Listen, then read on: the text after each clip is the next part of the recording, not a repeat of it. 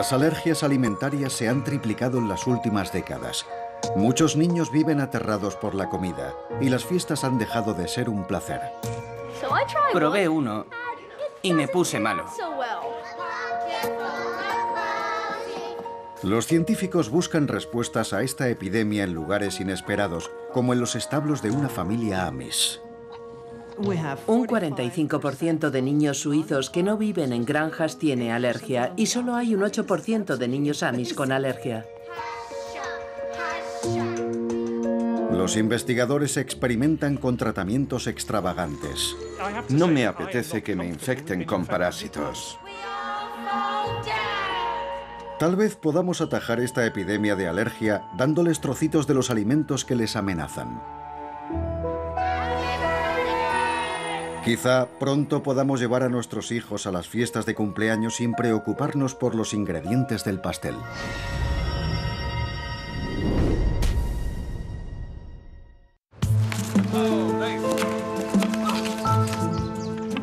William Comey tiene seis años y es ajeno a la creciente ansiedad de sus padres. Mañana van a ver cómo le dan de comer dosis cada vez mayores de lo que para él es una sustancia mortal, los cacahuetes. Estoy muy nerviosa. Hemos pasado estos últimos cuatro años y medio manteniéndolo apartado de los cacahuetes. Y ahora hemos accedido a que se exponga a ellos. Así que nos provoca a los dos mucha ansiedad.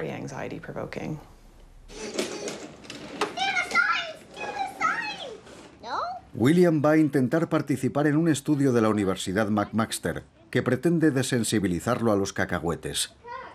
Primero tendrán que averiguar a partir de qué dosis comienza a reaccionar. Nos preocupa la cantidad de cacahuetes que tendrán que darle para provocar la reacción. Si William reacciona en exceso a los trocitos de cacahuete, será arriesgado incluirlo en el estudio. Si la reacción es moderada, será admitido. Nuestra esperanza es que acabe estando tan desensibilizado como para poder ingerir un cacahuete por accidente, sin padecer una reacción catastrófica. Una reacción anafiláctica podría bloquearle las vías respiratorias y dilatar sus vasos sanguíneos, provocándole una peligrosa bajada de tensión. El principio de la desensibilización es sencillo. Se mezcla con harina cantidades ínfimas del alimento para luego aumentar gradualmente las cantidades, entrenando al sistema inmunitario para que acepte el alimento. En el mundo occidental y urbano, cada vez un mayor número de niños lleva consigo una jeringuilla portátil con una dosis de adrenalina para inyectársela en el muslo ante una reacción negativa. ¿Tienes la comida? ¿Y el autoinyector? Genial, estamos listos. En el campamento de verano, otros siete niños de su grupo llevaban autoinyectores. Está mucho más extendido que cuando nosotros éramos niños. En Estados Unidos, los casos de alergia al cacahuete y los frutos secos se han triplicado desde 1997. Uno de cada tres niños es alérgico, ya sea a un alimento, un animal o una planta. ¿Quién de vosotros es alérgico a algún alimento? Levantad la mano. Soy alérgico a las nueces de Brasil.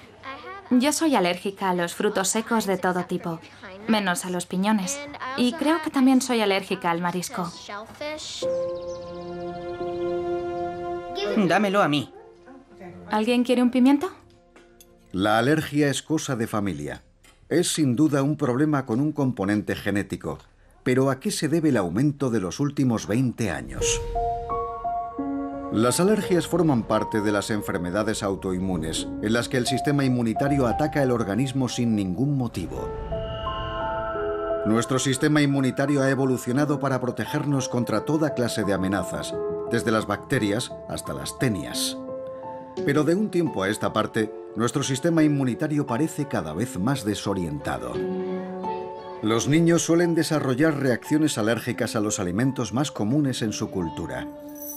Por ejemplo, en Japón es frecuente la alergia al arroz, que raras veces se da en Estados Unidos. Sin embargo, la alergia a la leche es rara. mientras que en Estados Unidos es frecuente, junto a la alergia a los frutos secos, el pescado, el marisco y los huevos. Antes de nada, hay que quitar el tapón de seguridad, así. Elizabeth Wagoner, alérgica a la leche, practica con su inyector de adrenalina como si la naranja fuera su muslo. Luego haces así y aguantas durante 10 segundos.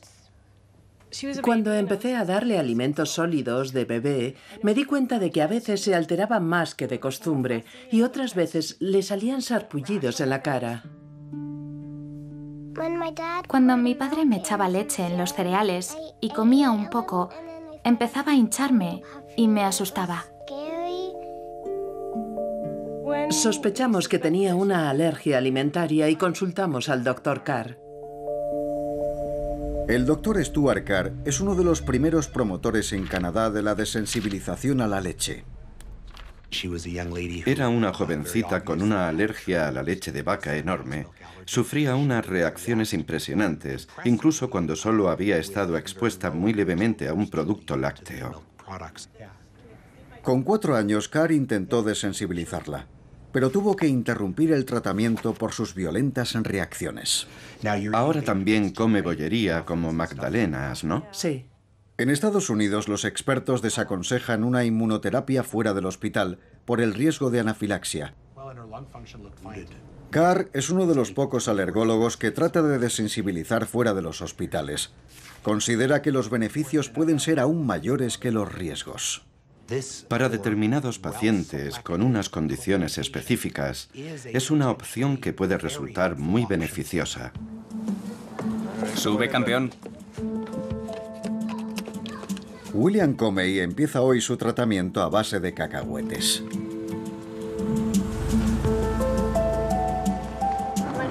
Te llevará todo el día leerte eso. No me lo pienso leer entero. Durante el breve trayecto entre su casa, en Oakville, Ontario, y el Hospital Infantil McMaster, William está relajado. Es evidente que sus padres han logrado esconder su propia ansiedad. Media hora más tarde llega el gran momento. William recibe su primera dosis, un miligramo de cacahuete mezclado con una natilla. Es una trescentésima parte de un cacahuete. A continuación, durante una hora, las enfermeras lo observan atentamente, a la espera de una reacción. William está visiblemente nervioso. Hola, William. ¿Qué tal te encuentras? La doctora Wasserman dirige este estudio de desensibilización. Se ha educado a estos niños para que eviten los cacahuetes a toda costa. Y a veces los volvemos tan increíblemente cautos y aprensivos que aunque se los intentemos dar en el marco de un tratamiento que les puede ayudar, no se lo creen. Están muy asustados y algunos creen que pueden llegar a morir si siguen el tratamiento. La primera dosis no le provoca ninguna reacción. Ahora la dosis será del doble, 2 miligramos. Estos programas de desensibilización no pretenden curar las alergias alimentarias en los niños. Simplemente reducen el riesgo de que se produzca una reacción grave. Para una cura más permanente debemos averiguar por qué se ha producido el drástico aumento de las alergias alimentarias.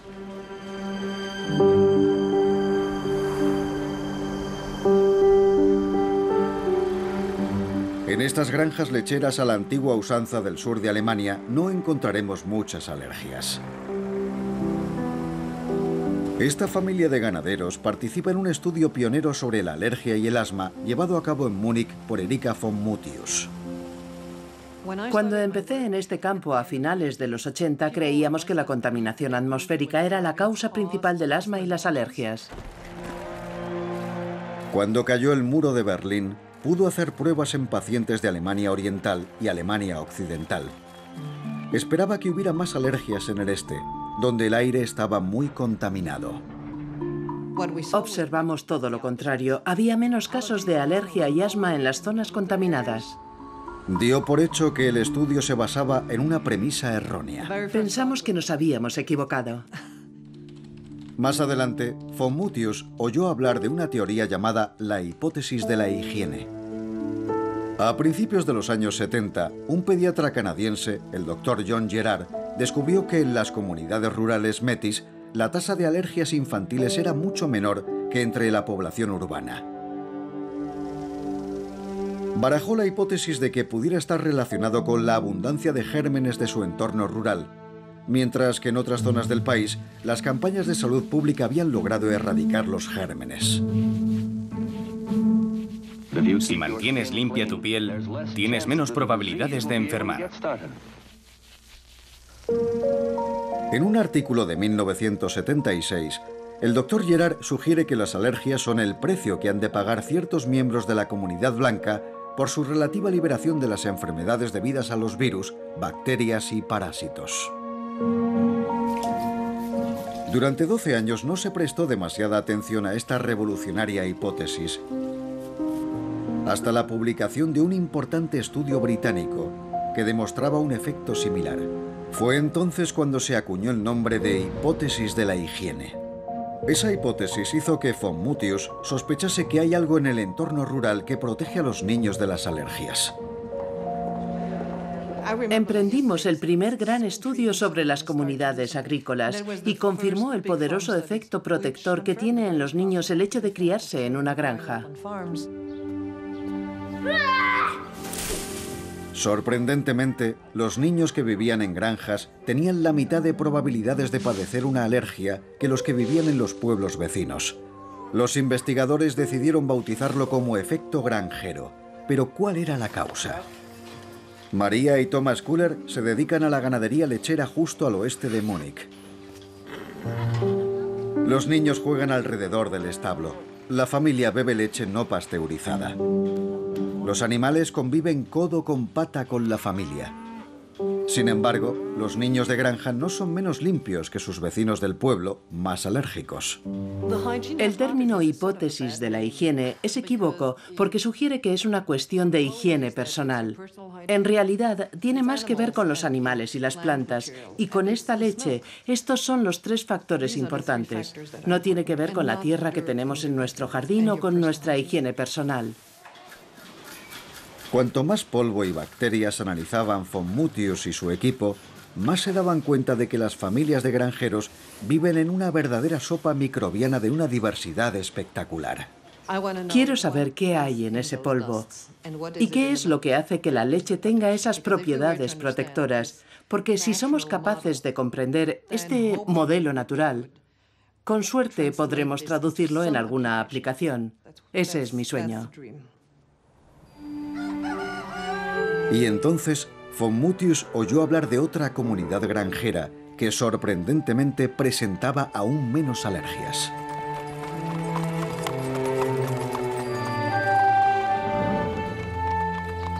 Estamos en el norte de Indiana, en pleno territorio Amis.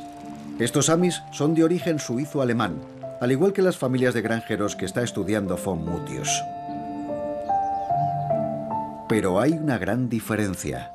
Los Amis tienen un estilo de vida que apenas ha evolucionado en 200 años. Lo que hace que estas granjas sean únicas es la estrecha conexión entre los niños, los animales y los establos. El alergólogo Mark Holbreak descubrió otra peculiaridad de los Amis de Indiana. Ofrecí consultas gratuitas y cuando empecé a conocerlos pude observar que muchos venían porque pensaban que tenían alergia cuando en realidad no la tenían. Los Amis tenían la mitad de alergias que las familias de ganaderos lecheros alemanas. Así que Holbreak contactó con von Mutius. Estaba especialmente interesada y me dijo, tenemos que hacer un estudio sobre los Amis, y me animó a hacer uno. El estudio sobre los Amis era fascinante. Representan un modo de vida que ha desaparecido de Europa, pero que era mayoritario hace unos 150 años. En la granja de los Mast, en las afueras de Middlebury, Indiana, el patriarca Erwin Mast lleva a los caballos al establo mientras sus hijos Andrew y Joe destetan a un ternero. Su religión les prohíbe ser filmados, pero nos permitieron seguir su día a día siempre y cuando no los entrevistáramos ni tuvieran que mirar a la cámara. Saben lo importante que es la investigación de Holbreak.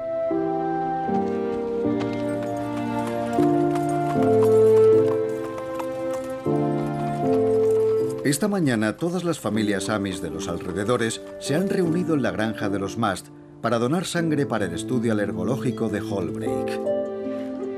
La inmunóloga Carol Over ha venido desde la Universidad de Chicago. Gracias a estas muestras de sangre, sabrá cómo funciona el sistema inmunitario de los niños. Vamos a exponer estas muestras de sangre a varios agentes patógenos, bacterias, y luego mediremos la reacción de sus células a diferentes microbios. En el establo, los nietos de Erwin juegan rodeados de animales y estiércol, mientras su padre y su madre ordeñan a las vacas. Holbreak sospecha que la leche no pasteurizada podría ser una pieza del puzzle de la alergia. Nuestro objetivo es ver si podemos identificar un factor protector en la leche no pasteurizada y no homogeneizada. Hay algo excepcional en las vacas. En el hecho de que una familia lleve un estilo de vida tan estrechamente relacionado con los animales desde su más tierna infancia. La convergencia de todas esas características parecen ser el factor determinante.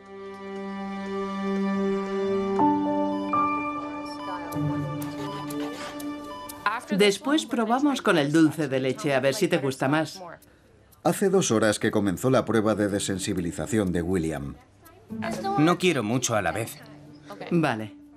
La segunda dosis de 2 miligramos no produce ninguna reacción. El mayor problema es que no le gusta el sabor de los mejunjes.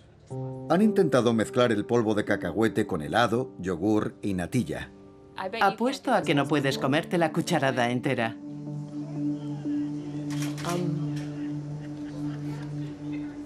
Pero tras la tercera dosis de la mañana, ¿Tienes sueño? ¿Te está entrando un poco de sueño? parece que William está a punto de tener una reacción.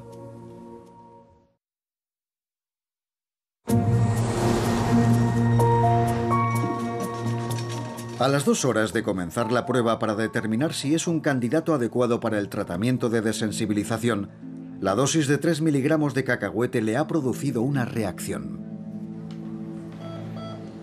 Respira hondo. Hola, Aquí está la doctora Wasserman. ¿qué tal estás? Bueno, empezó a toser y a atragantarse. Notó una sensación rara, le dolía la tripa, se le trababa la lengua, estaba cansado y le ardían las mejillas.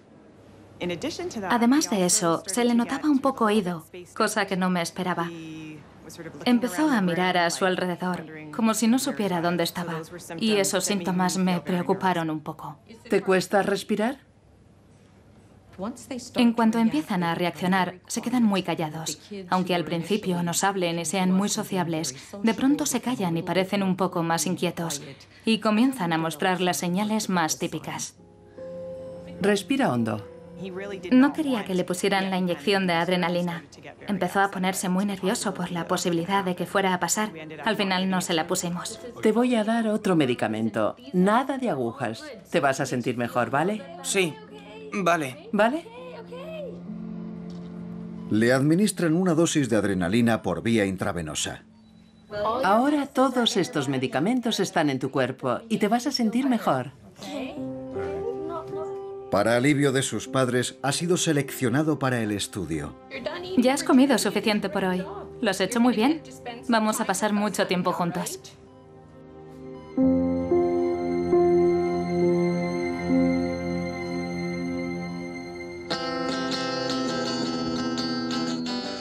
Abby Siegel ya ha logrado el objetivo de William. Es una de las primeras personas en Canadá que ha conseguido desensibilizarse a los cacahuetes.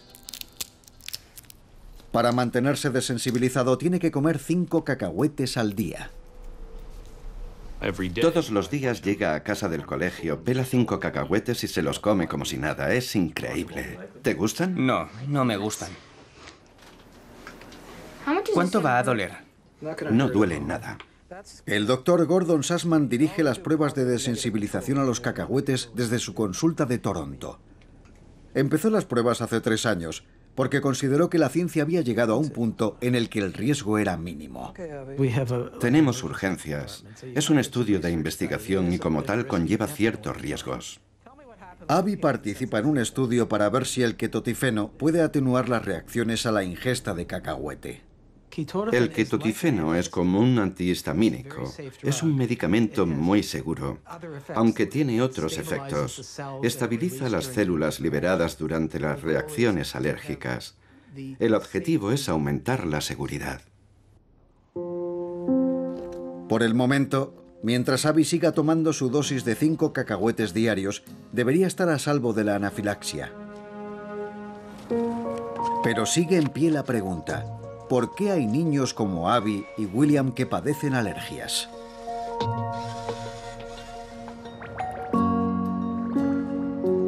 Alex Newland tiene dos años. Vive en Delta, en Columbia Británica, con sus padres y su hermano. Está involucrado en un estudio en el que participan 3.500 niños canadienses y sus madres. El objetivo es comprender las causas subyacentes del drástico aumento de las alergias. Seleccionaron a una serie de mujeres embarazadas al azar. Algunas tuvieron bebés que desarrollaron alergias alimentarias. Tendría un año cuando le hicimos la prueba de escarificación en la espalda. Luego lo dejamos correr y jugar. No me lo podía creer. Desde la otra punta de la habitación pude ver cómo le salían tres ronchones en la cara. Me moría de miedo. La escarificación reveló que es alérgico a los cacahuetes, la leche y la clara de huevo.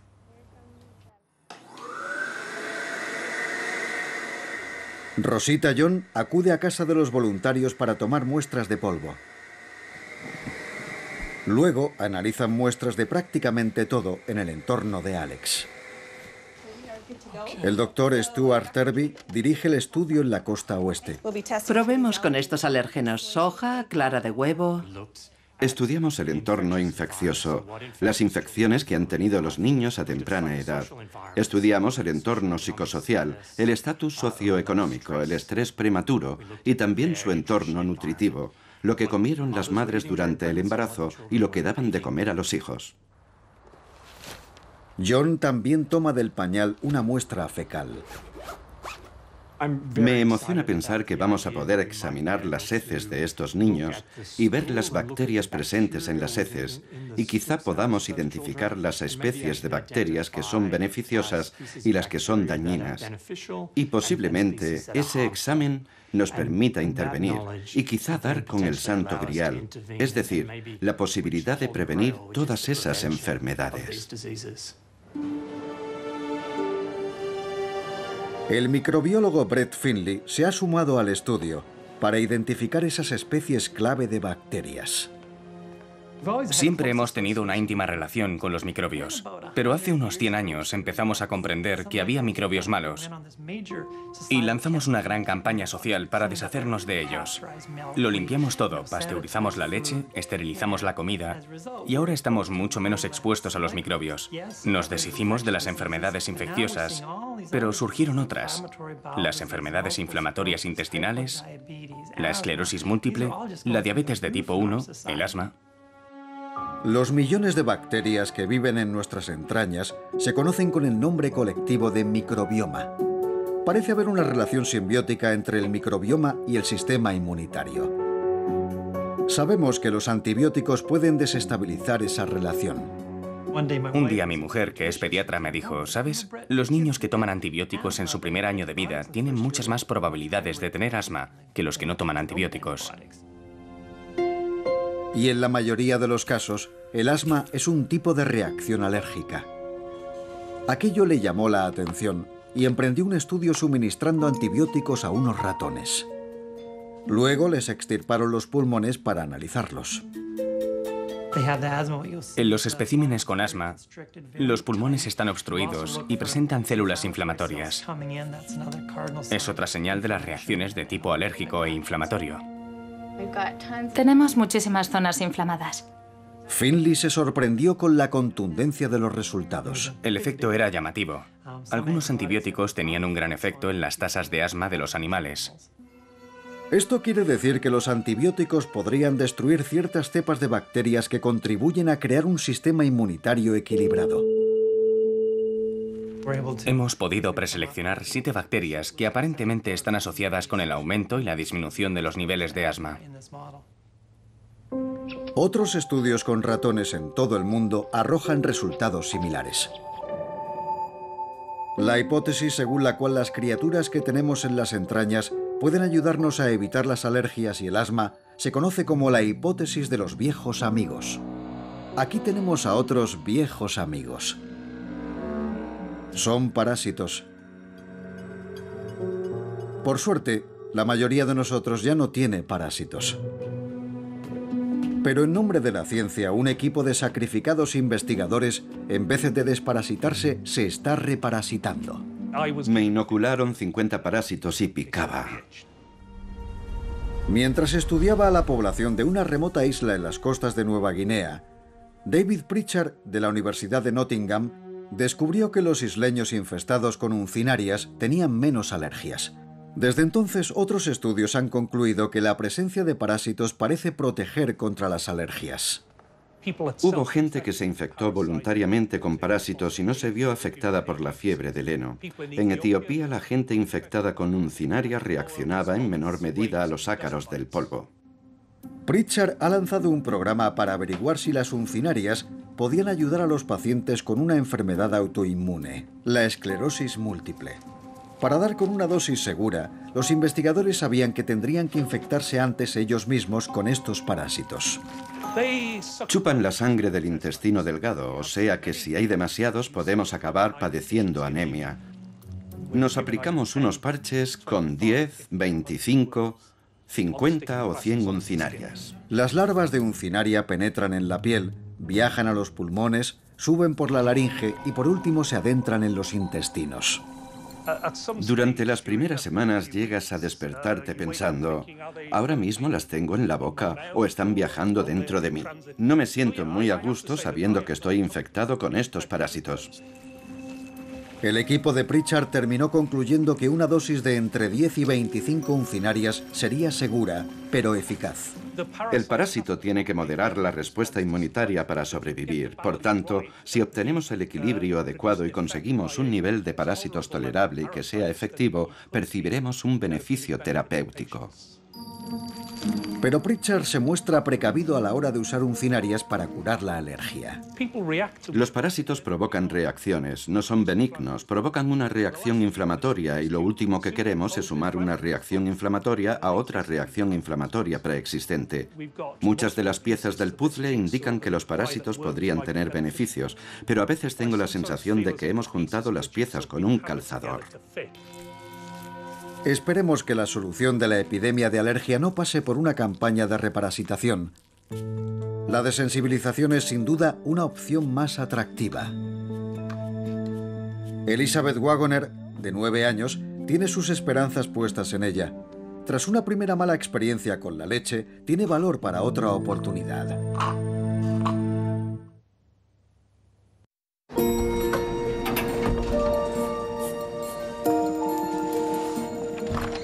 Elizabeth Wagoner ha vuelto a la consulta de Stuart Carr para tratar por segunda vez de desensibilizarse a la leche. Hace un año y medio, Beth decidió que quería otra oportunidad. Elizabeth es consciente del riesgo. Recuerda cuando probó la leche por primera vez.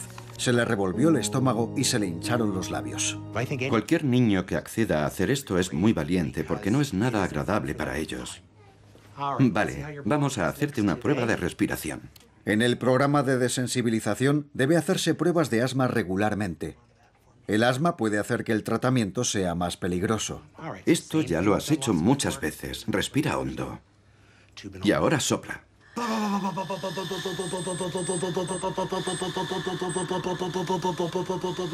Para. Genial. ¿Estás lista para tomarte la leche? Sí. Durante su tratamiento, Elizabeth bebe 46 mililitros de leche al día. Por el momento es el máximo que puede beber sin sufrir una reacción alérgica. El objetivo del Dr. Carr es que pueda llegar a tomar 200 mililitros. ¿Qué? Teniendo en cuenta lo sensible que era antes, es todo un alivio que haya podido llegar tan lejos.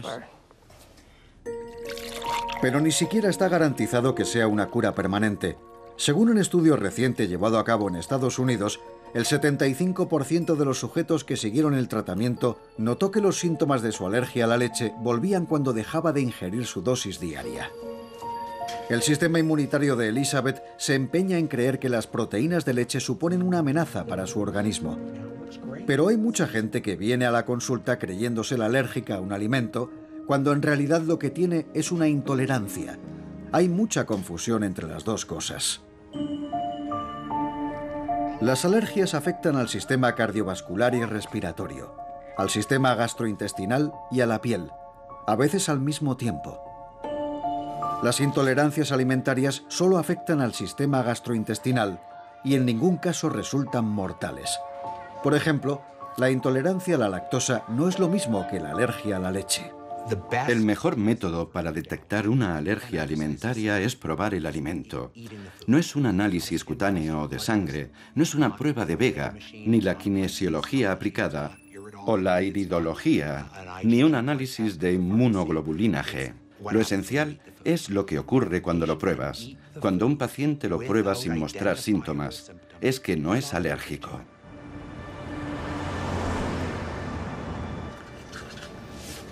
El cacahuete. A las dos semanas de comenzar su desensibilización, William acude al hospital para pasar a una dosis de 2 miligramos de cacahuete al día, todos los días. Es solo una cucharada, ¿vale? Estoy lista para cronometrarte. Ya. En casa empezó hace dos semanas con una dosis de un miligramo, que ingiere todos los días al volver del colegio. La única reacción que ha tenido con las primeras tres o cuatro dosis es un poco de rojez en las mejillas. William, ¿te sientes distinto desde que tomaste el cacahuete? No. También le damos tres dosis de medicamento para que tenga su antihistamínico líquido por la mañana y luego dos dosis de algo para su estómago. No le gusta. Es un proceso bastante lento por las mañanas. Los medicamentos son una parte importante del estudio. Nuestro estudio también trata de averiguar si tomar ciertos medicamentos de forma preventiva, como los antihistamínicos y los antiácidos, puede ayudar a los niños a tolerar el cacahuete a lo largo del programa. A veces los niños sufren dolores abdominales severos y tienen que abandonar la desensibilización.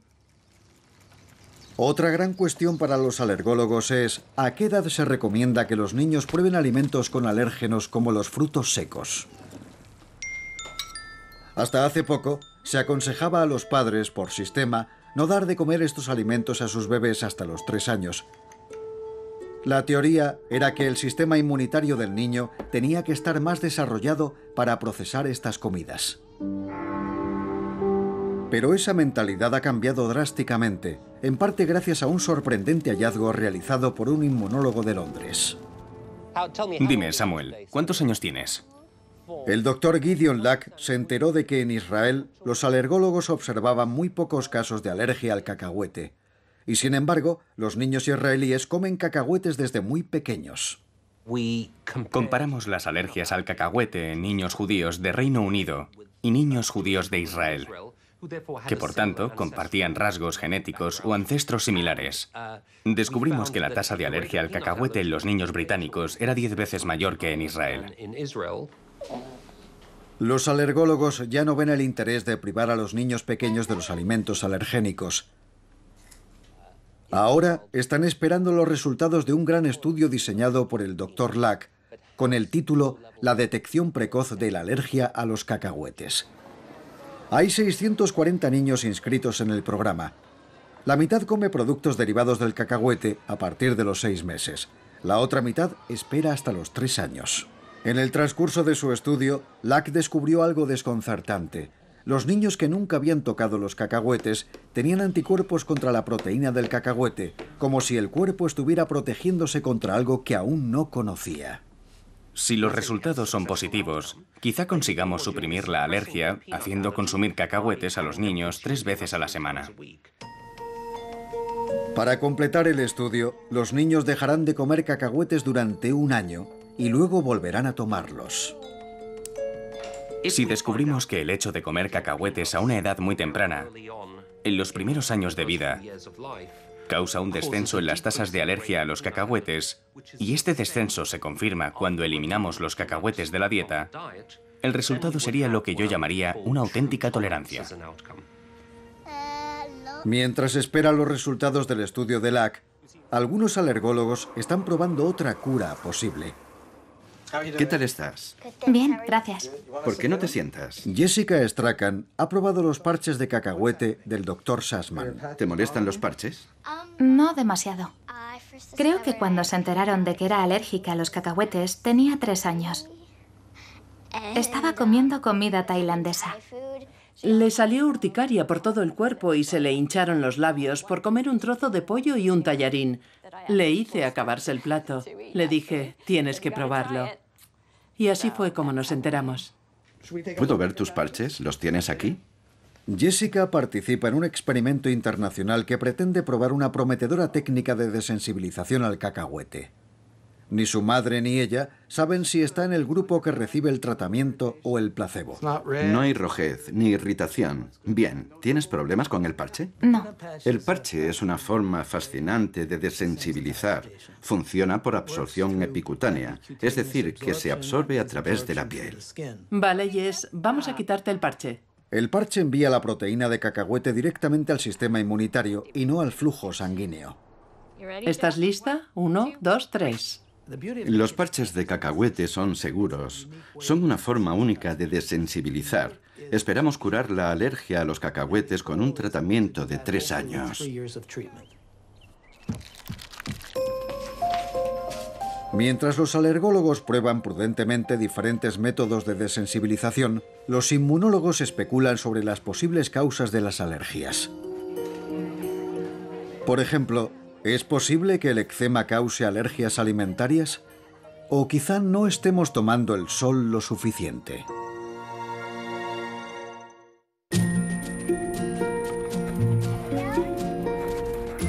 Sona Giles tiene dos años y vive en Iqaluit, en el archipiélago ártico canadiense. El alimento común al que es alérgica no es ni la leche ni el cacahuete. Estábamos en una reunión familiar. Habíamos preparado trucha ártica, caribú y beluga. Le di a probar y empezó a tener una reacción. Empezó en su boca, luego se extendió, le salió urticaria, se le hincharon los ojos y tuvimos que ir al hospital. Un par de meses más tarde le hicieron pruebas y resultó que era alérgica a la trucha ártica y al caribú crudo. A veces me siento muy mal porque no puede comer esas cosas. Vale, los oídos están muy bien. El doctor Anthony Hampon dirige una clínica alergológica en Ottawa, pero todos los años viaja al norte, donde encuentra alergias alimentarias que le dan muchos quebraderos de cabeza. Hace apenas unos años no veíamos muchos casos pero parece que están aumentando. El estilo de vida occidental se está imponiendo progresivamente con más y mejor atención médica. Pero si mejora la salud de la población, parece que también aumentan las alergias. Hampon también ha reparado en que el contacto dérmico con determinados alimentos puede provocar alergias. Hay niños alérgicos a la carne de ballena, posiblemente porque de pequeños les frotaban la piel con aceite de ballena. Si aplicamos un alimento en la piel y ésta lo absorbe, tenemos más posibilidades de volvernos alérgicos que si lo ingerimos. En un niño con eczema, el alimento accede mejor al organismo a través de la piel resquebrajada. Los médicos saben que los bebés con eczema tienden a desarrollar alergias alimentarias. Actualmente un equipo de investigadores británicos cree que el eczema podría ser uno de los causantes de las alergias alimentarias.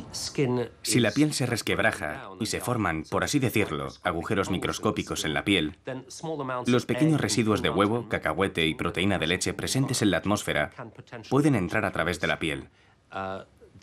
Según una teoría, hablamos de una mera teoría, el sistema inmunitario del cuerpo los ve como un parásito invasor y trata de expulsarlos. O quizá haya otro factor que afecta a la piel y que puede encerrar la solución a la epidemia de alergia. Puede que las culturas occidentales modernas no tomen lo suficiente el sol. De un tiempo a esta parte hemos estado acumulando pruebas de que la vitamina D tiene un efecto positivo en el sistema inmunitario. La falta de vitamina D puede fomentar las alergias. Nick Osborne, de la Universidad de Exeter, obtiene un poco de vitamina D del sol de Cornualles, en el oeste de Inglaterra. Voy en bicicleta al trabajo un par de días a la semana. Probablemente me dé bastante el sol gracias a eso. Y los fines de semana juego al cricket. Osborne se basó en un estudio sobre la población de Australia para comparar las tasas de alergia entre los estados más soleados y los menos soleados. Los niños que se encontraban más cerca del Ecuador tenían menos alergias y menos eczemas que los que vivían en los estados más al sur. Los casos se multiplicaban casi por dos, así que estábamos bastante seguros de nuestros resultados. Osborne quiere ampliar los resultados realizando nuevos estudios. Vamos a añadir más variables climatológicas para ver cómo afectan a la relación entre la exposición al sol y la vitamina D. Osborne sabe que su teoría sobre la vitamina D está sembrada de incertidumbre. Hoy por hoy, la desensibilización inspira más confianza. Ocho meses más tarde, Jessica, la chica del parche de cacahuete, sabe ya que por suerte se encuentra en el grupo que está recibiendo el tratamiento, no el placebo. Han puesto a prueba su tolerancia a los cacahuetes y ha mejorado. En la siguiente fase recibirá una dosis mayor para ver si su alergia a los cacahuetes puede eliminarse por completo. Este año de tratamiento de desensibilización a los cacahuetes no ha sido fácil para los padres de William. Nos ha costado mucho conseguir que se tomase su medicamento. Hubo un par de ocasiones en las que pensé en tirar la toalla, pero luego me acordaba de la razón por la que empezamos el tratamiento de desensibilización. Aquí tienes. Y ahora, William es capaz de comer cacahuetes enteros.